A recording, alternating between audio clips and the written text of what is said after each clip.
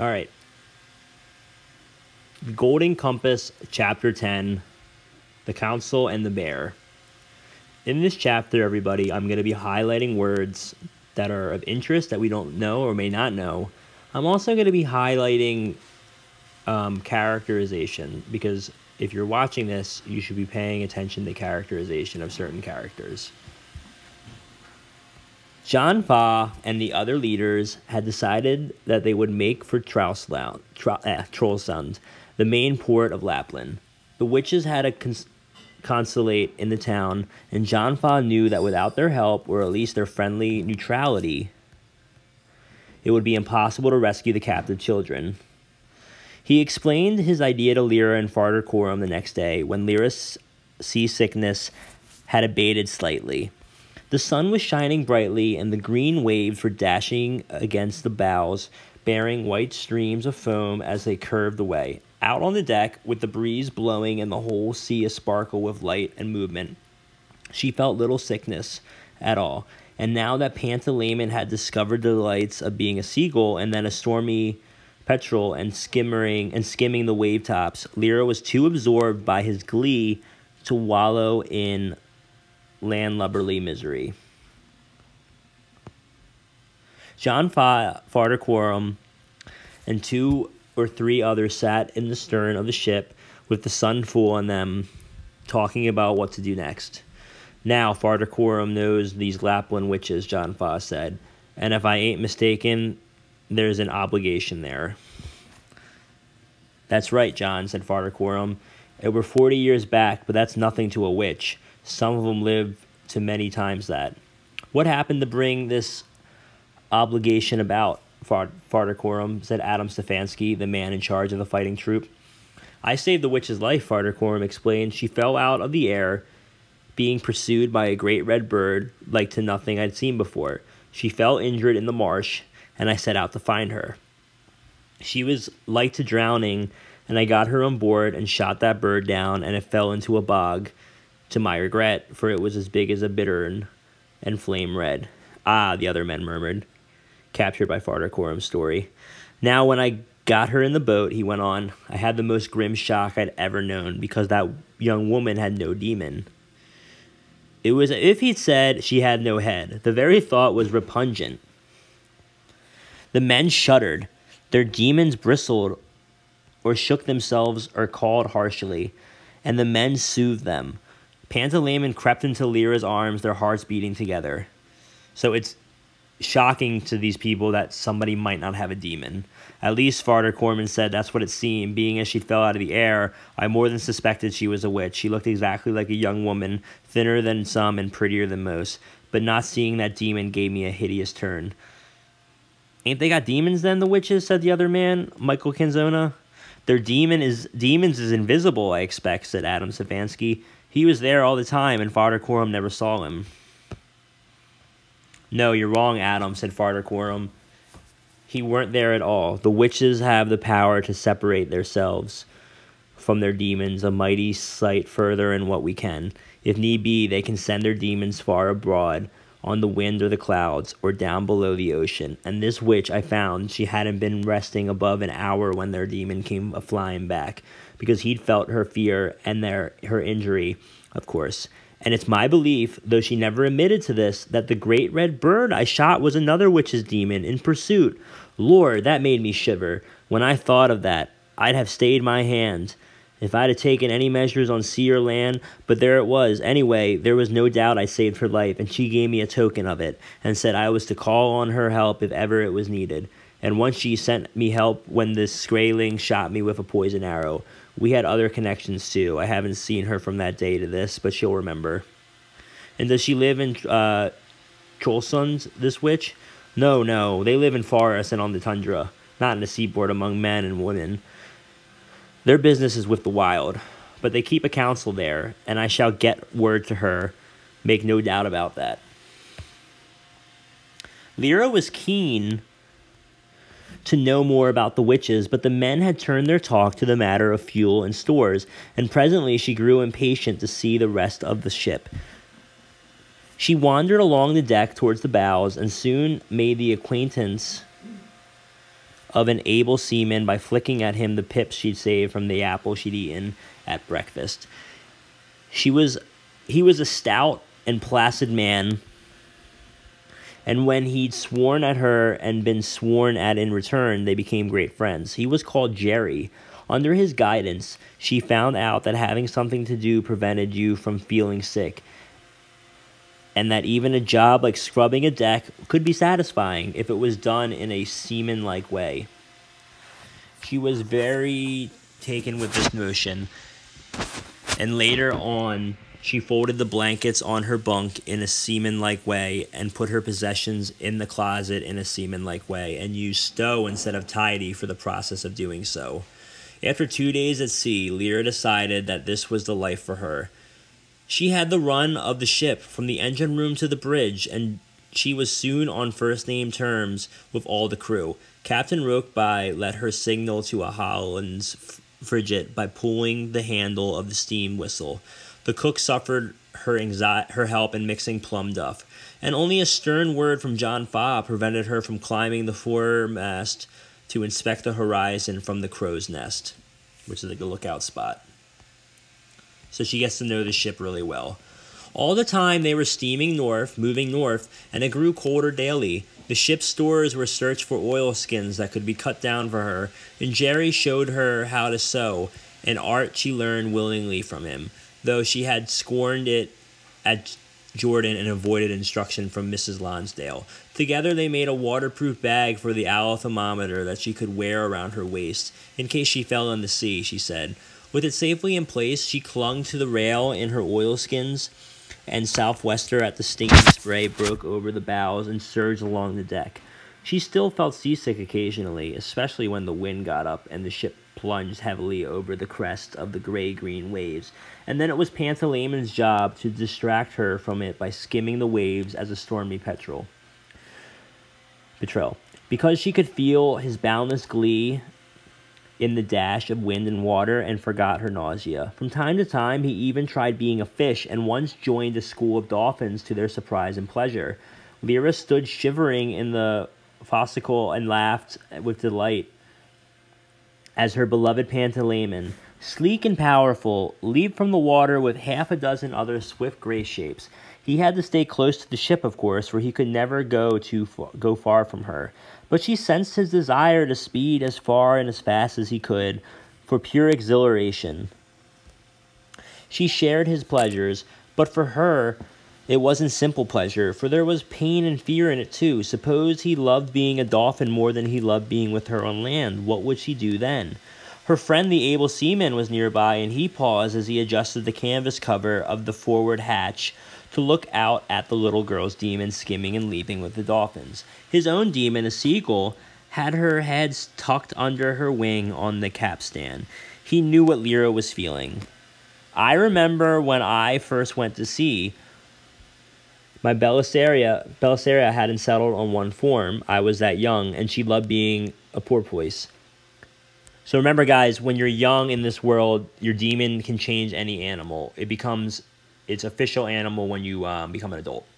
I was afraid she settled like that. There was one old sailor man on my first vessel who could never go ashore at all because his demon had settled as a dolphin and he could never leave the water. He was a wonderful sailor, but best navigator you ever knew, could have made a fortune at the fishing, but he wasn't happy at it. He was never quite happy till he died and he could be buried at sea. Why do demons have to settle? Lyra said. I want Pantalaimon to be able to change forever, so does he. Ah, they always have settled, and they always will. That's part of growing up there'll come a time when you'll be tired of his changing about and you'll want a settled kind of form for him. I never will. Oh, you will. You'll want to grow up like all the other girls. Anyway, there's compensations for a settled form. What are they?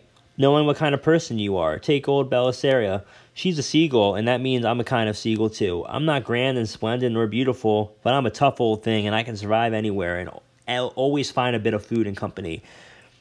That's worth knowing that is, and when your demon settles, you'll know the sort of person you are. But suppose your demon settles in a shape you don't like. Well, then you're discontented, aren't, ain't you? That's there's plenty of folk as like to have a lion as a demon and then end up with a poodle. Until they learn to be satisfied with what they are, they're going to be fretful about it. Waste of feeling, that is. But it didn't seem to Lyra that she would ever grow up. One morning, there was a different smell in the air, and the ship was moving oddly, with a brisker rocking from side to side instead of the plunging and soaring. Lyra was on deck a minute after she woke up, gazing greedily at the land. Such a strange sight after all the water, for though they had only been at sea a few days, Lyra felt as if they'd been on the ocean for months. Directly ahead of the ship, a mountain rose, green flanked and snow capped, and a little town and harbor lay below it. Wooden houses with steep roofs and oratory spire, cranes in the harbor, and clouds of gulls wheeling and crying. The smell was of fish, but mixed with it came land smells too pine resin and earth, and something animal and musky and something else that was cold and blank and wild. It might have been snow. It was the smell of the north. Seals frisked about around the ship, showing their clown faces above the water before sinking back without a splash. The wind that lifted spray off the white capped waves was monstrously cold and searched out every gap in Lyra's wolf skin, and her hands were soon aching and her face numb.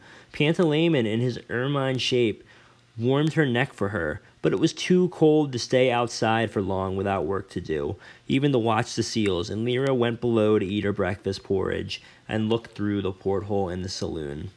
Inside the harbor, the water was calm, and as they moved past the massive breakwater, Lyra began to feel unsteady from the lack of motion. She and Pantaleon avidly watched as the ship inched ponderously towards the quayside. During the next hour, the sound of the engine died away to a quiet background rumble. Voices shouted orders or queries. Ropes were thrown gangways lowered, hatches opened. Come on, Lyra, said Farder Coram. Is everything packed? Lyra's possessions, such as they were, had been packed ever since she'd woken up and seen the lands. All she had to do was run to the cabin and pick up the shopping bag, and she was ready. The first thing she and Farder Coram did ashore was to visit the house of the Witch Council. It didn't take long to find it. The little town was clustered around the harbor, with the oratory and the governor's house the only buildings of any size. The witch council lived in a green painted wooden house with sight of the sea, within sight of the sea, and when they rang the bell it jangled loudly in the quiet street. A servant showed them into a little parlor and brought them coffee. Presently the council himself came in to greet them. He was a fat man with a florid face and a sober black suit, whose name was Martin Lanselius. His demon was a little serpent, the same intense and brilliant green as his eyes, which were the only witch-like things about him. Though Lyra was not sure what they what she had been expecting a witch to look like. How can I help you, Farder Coram? he said. In two ways, Dr. Lanselius. First, I'm anxious to get in touch with a witch lady I met some years ago in the fen country of eastern Anglia. Her name is Seraphina Pekkala. Dr. Lanselius made a note with a silver pencil. How long ago was your meeting with her? he said. Must be forty years, I, but I think she would remember. And what is the second way in which you seek my help? I'm representing a number of Egyptian families who've lost children. We've got reason to believe there's an organization capturing these children, ours and others, and bringing them to the north for some unknown purpose. I'd like to know whether you or your people have heard of anything like this going on. Dr. Lanselius sips his coffee blandly. It's not impossible that it's not impossible that notice of some such activity might have come our way, he said. You realize the relationships between my people and the Northlanders are perfectly cordial. Perfectly good. It would be difficult for me to justify disturbing them. Farder Coram nodded as if he understood very well. To be sure, he said, and it wouldn't be necessary for me to ask you if I could get the information any other way. That was why I asked about the witch lady first. Now Dr. Lanselius nodded as if he understood. Lyra watched this game with puzzlement and respect. There were all kinds of things going on beneath it, and she saw that the witch council was coming to a decision. Very well, he said. Of course, that's true, and you'll realize that your name is not unknown to us, Farder Coram. Seraphina Pekkala is queen of a witch clan in the region of Lake Enara. As for your, uh, your other question, it is of course understood that this information is not reaching you through me. Quite so. Well, in this very town, there is a branch of an organization called the Northern Progress Exploration Company, which pretends to be searching for minerals, but which is really controlled by something called the General Oblation Board of London. This organization, I happen to know, imports children. This is not generally known in the town. The Norway government is not officially aware of it. The children don't remain here long, they are taken some distance inland. So, guys, if you're confused about what just happened here, the council was like, oh, I can't say anything. And Farder Coram was kind of saying, I can go other. I'm gonna get this information no matter what, so you might as well tell me. So they had a little silent like um, chess game, as Lyra pointed out. And if you're looking for characterization, you could look here. Um, Lyra watched the game with puzzlement and respect, so you could call her observant here. That's a characterization of Lyra. She's observant. But Farder Coram just found out that the town they're in is relation to the General Oblation Board. This is where children are being uh, funneled through. Do you know where, Dr. Lanselius? No, I would tell you if I did. And do you know what happens to them there? For the first time, Dr. Lanselius glanced at Lyra. She looked stolidly back. The little green serpent demon raised her head from the council's collar and whispered tongue flickeringly, flickeringly in his ear. The council said, I have heard the phrase the Maystadt process in connection with this matter. I think they use that in order to avoid calling what they do it by a proper name. I have also heard the word intercision, but what it refers to I could not say. And are there any children in the town at the moment? said Farder Coram. He was stroking his demon's fur as she sat alert in his lap. Lyra noticed that she had stopped purring. So again, Lyra is observant here. No, I think not, said Dr. Lanselius. A group of about 12 arrived a week ago and moved out the day before yesterday. Ah, as recent as that? Then that gives us a bit of hope. How did they travel, Dr. Lanselius? By sledge. And you have no idea where they went? Very little. It is not a subject we are interested in. Quite so. Now you've answered all my questions very fairly, sir. And here's just one more. If you were me, what question would you ask of the Council of the Witches? For the first time, Dr. Lanselius smiled. I would ask where I could obtain the services of an armored bear, he said. Lyra sat up and felt Pantalaimon's heart leap in her hands.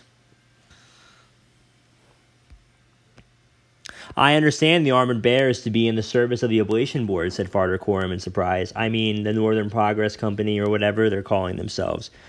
There is at least one who is not. You will find him at the sledge depot at the end of Langlokur Street. He earns a living there at the moment, but such is his temper and the fear he engenders and the dogs, his employment might not last for long.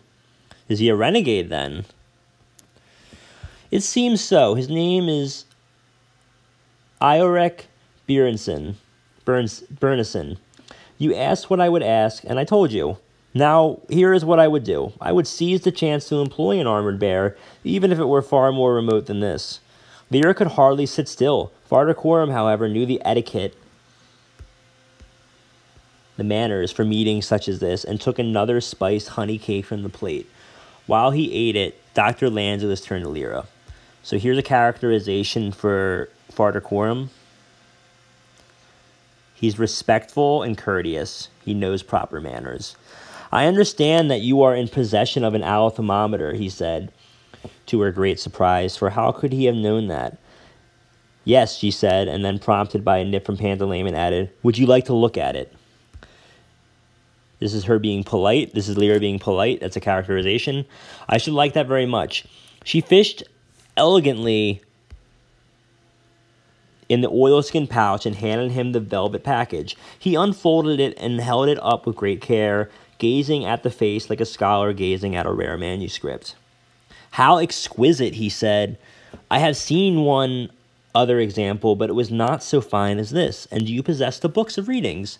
No, Lyra began, but before she could say any more, Farder Coram was speaking.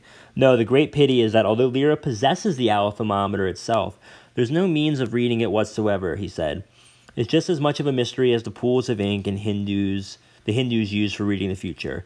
And the nearest book of readings I know of is in the Abbey of St. Johann, at Heidelberg. Lyra could see why he was saying this. He didn't want Dr. Lanselius to know of Lyra's power, but she could also see something Farder Coram couldn't, which was the agitation of Dr. Lanselius's demon, and she knew at once that it was no good to pretend.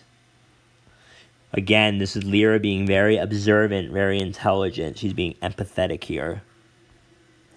This is a great description to use in your worksheet. So she said, Actually, I can read it, speaking half to Dr. Lanselius and half to Farder Coram. And it was the consul who responded. That is wise of you, he said. Where did you obtain this one? The master of Jordan College in Oxford gave it to me, she said. Dr. Lanselius, do you know who made them? They are said to originate in the city of Prague, said the council. The scholar who invented the first thermometer was apparently trying to discover a way of measuring the influences of the planets according to the ideas of astrology. He intended to make a device that would respond to the ideas of Mars or Venus as a compass responds to the ideas of North. In that he failed, but the mechanism he invented was clearly responding to something, even if no one knew what it was. And where did they get the symbols from? Oh, this was in the 17th century. Symbols and emblems were everywhere. Buildings and pictures were designed to be read like books. Everything stood for something else. If you had the right dictionary, you could read nature itself. It was hardly surprising to find philosophers using the symbolism of their time to interpret knowledge that came from a mysterious source. But, you know, they haven't been used for seriously for two centuries or so.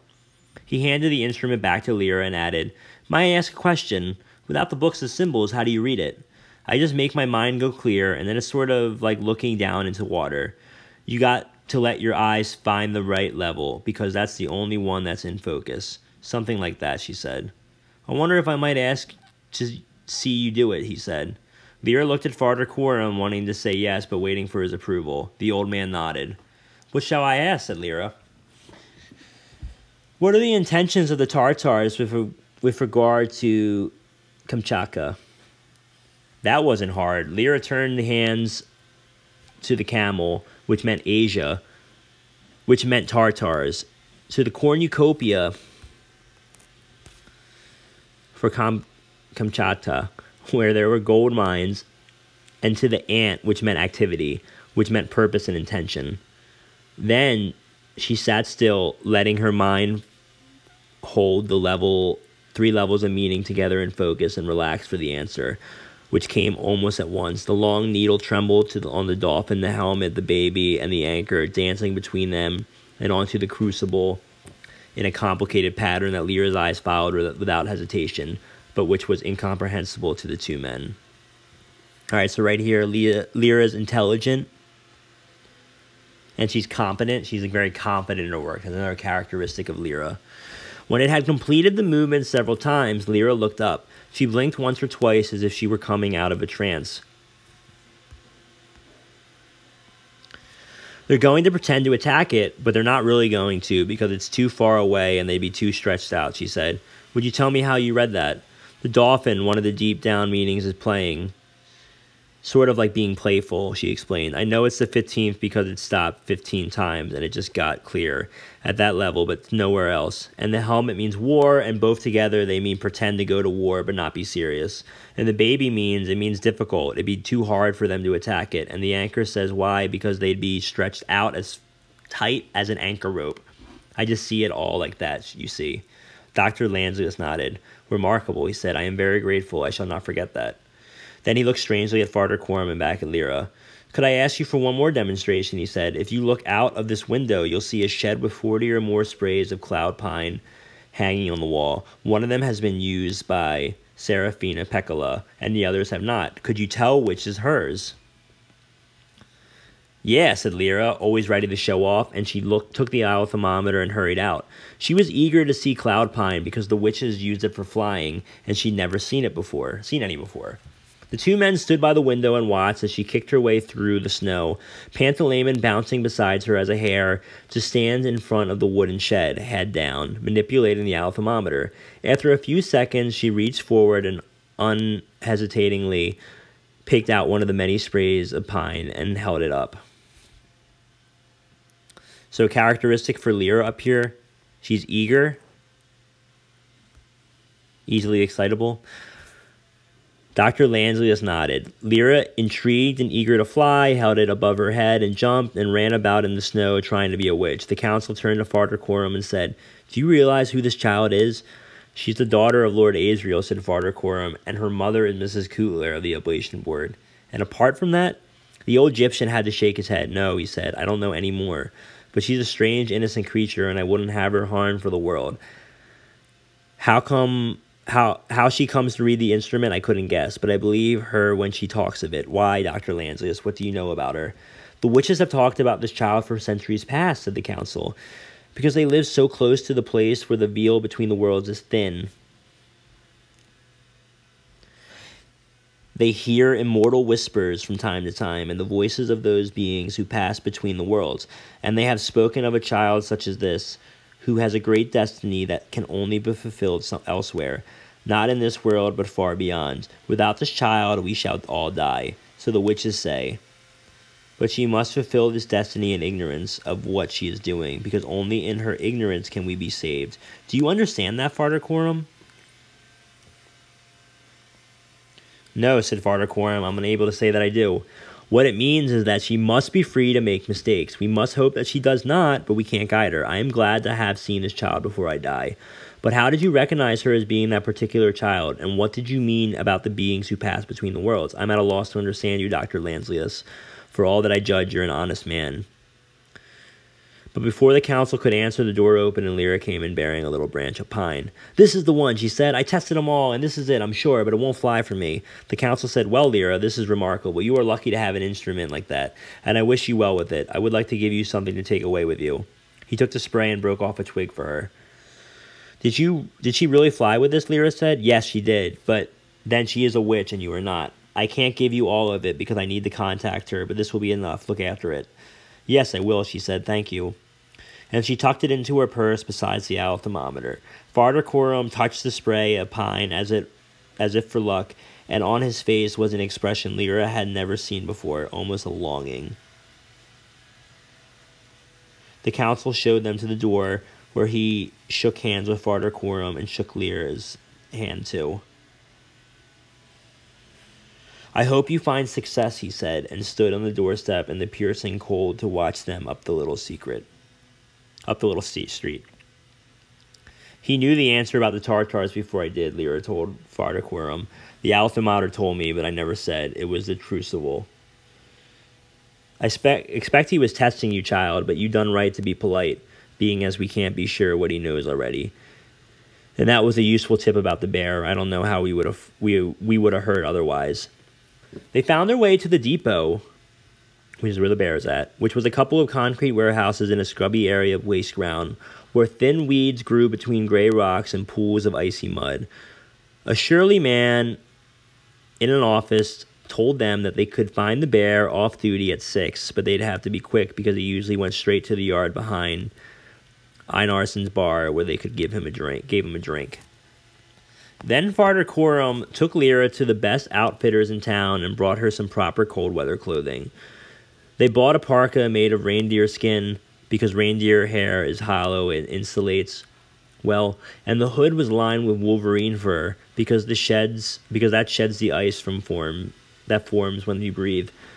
They bought underclothing and boot liners of reindeer calfskin and silk gloves to go inside big fur mittens. The boots and mittens were made of skin from the reindeer forelegs because that is extra tough, and the boots were soled with the skin of the bearded seal, which is as tough as walrus hide, but lighter. Finally, they brought a waterproof cape that enveloped her completely, made of semi transparent seal intestine. With all that on and a silk muffler around her neck and a woolen cap over her ears and the big hood pulled forward, she was uncomfortably warm, but they were going to much colder regions than this. John Faa had been supervising the unloading of the ship and was keen to hear about the witch's council, council's words, and even keener to learn of the bear. We'll go to him this very evening, he said. Have you ever spoken to such a creature, Farder Coram?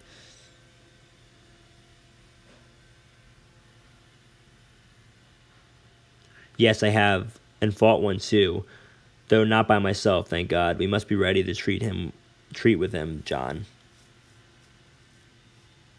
I'm sorry, okay. He'll ask a lot, I've no doubt, and he surely and be surely and difficult to manage when we must have him. Oh, we must, and what of your witch? Well, she's a long way off and a clan queen now, said Farder Coram. I did hope it might be possible for a message to reach her, but it would take too long to wait for a reply. Ah, well, now let me tell you what I found, old friends. For John Faa had been fidgeting with impatience to tell them something. He had met a prospector on the quayside, a new Dane from the country of Texas, and this man had a balloon, of all things. The expedition he'd been hoping to join had failed for lack of funds even before it had left Amsterdam, so he was stranded. Think what he might do with the help of an aeronaut, Farder Coram, said John Faa, rubbing his great hands together. I've engaged him to sign up with us. Seems to be we seems to me we struck luck struck lucky at coming here. Luckier still if we had a clear idea where he was going, said Farder Coram, but nothing could damp John Faa's pleasure in being on campaign once more. So they're out in the action. John Faa's excited. After darkness had fallen, when and when the stores and equipment had all been safely unloaded and stood in waiting on the quay, Farder Coram and Lyra walked along the waterfront and looked for Einarsson's bar, which is where the bear's at. They found it easy enough, a crude concrete shed with red neon sign flashing irregularly over the door and the sound of loud voices through the condensation frosted windows. A pitted alley besides it led to a sheet metal gate into a near rear yard where a lean to shed stood crazily over a floor of frozen mud. Dim yellow light through the rear window of the bar showed a vast pale form crouching upright and gnawing at a haunch of meat, which it held in both hands. Lyra had an impression of blood-stained muzzle and face, small, uh, malevolent black eyes, and an immensely an eh, immensity of dirty, matted, yellowish fur. As it gnawed, hideous growling, crunching, sucking noises came from it. Farder Coram stood by the gate and called, Iorek Byrnison. The bear stopped eating, and far as they could tell, he was looking at them directly, but it was impossible to read any expression on his face. Iorek Byrnison, said Farder Coram again, may I speak to you? All right, so some characterization on Farder Coram. He's being polite and courteous. Lyra's heart was thumping hard, so characterization for Lyra, she's nervous. Because something in the bear's presence made her feel close to coldness, danger, brutal power but a power controlled by intelligence and not a human intelligence, nothing like a human, because of course bears had no demons. This strange, hulking presence, gnawing its meat, was like nothing she had ever imagined, and she felt a profound admiration and pity for the lonely creature.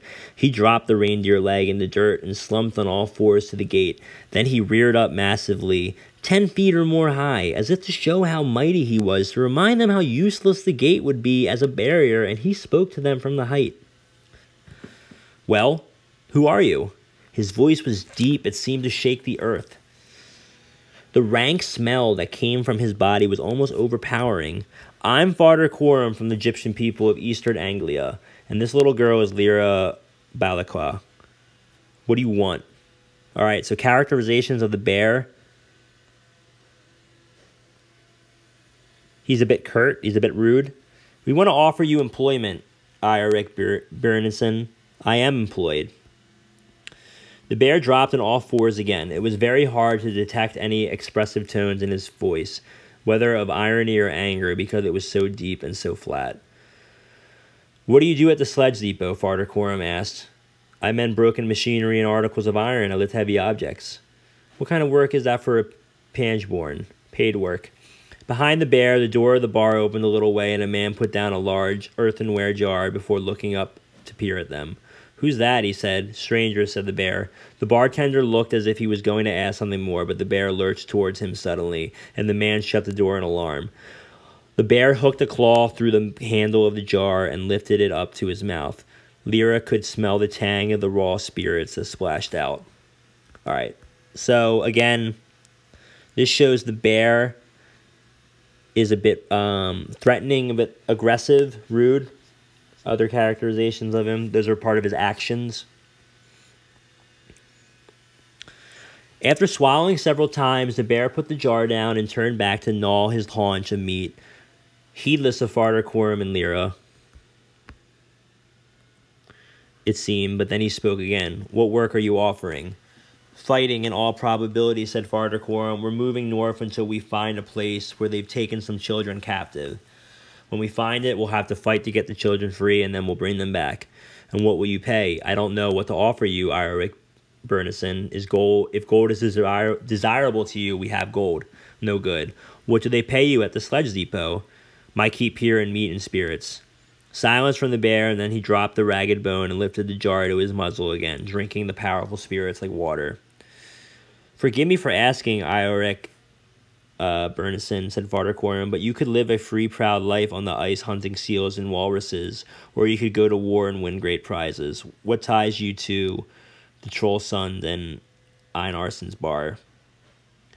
Lyra felt her skin shiver all over. She would have thought a question like that, which was almost an insult, would enrage the great creature beyond reason.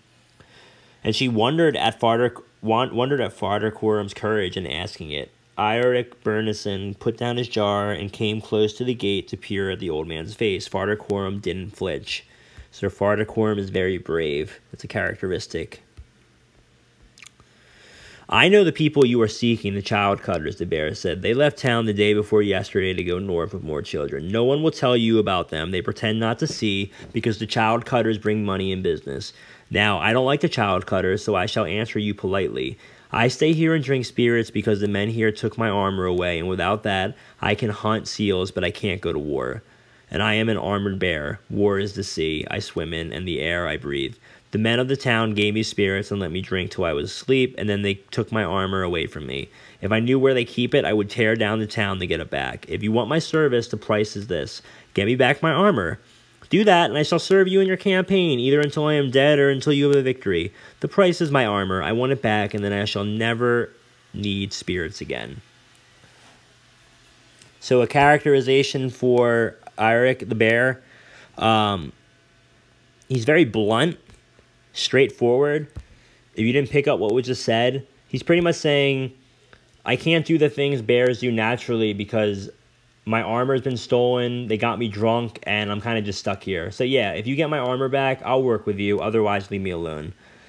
So, in the next chapter, we're going to get some armor for the bear. All right. So, what you should be doing now, you should be going back to this passage and finding characteristics of uh, Lyra, Farder Coram, or even Iorek. Any of those three is fine, and you can fill out your graphic organizer in the email I sent.